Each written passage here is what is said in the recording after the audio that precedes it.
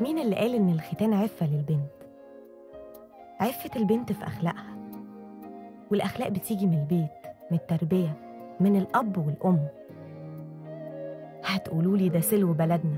طلعنا ولقينا نفسنا كده. طب ما هو العلم نور. والطب بيقول إن الختان ضرر للبنت ولجسمها لا يقدر يصونها ولا يعفها.